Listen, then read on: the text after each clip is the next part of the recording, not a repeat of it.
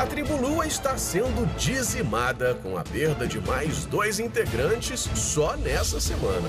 Domingo, Ana Clara e o influenciador digital Vitor de Castro se encontram com os eliminados. O jogo acabou para eles, mas depois do Fantástico, a gente conversa ao vivo. E terça, a prova mais aguardada, a mais temida. Nós vamos servir um menu degustação Sentem e se preparem para o jogo.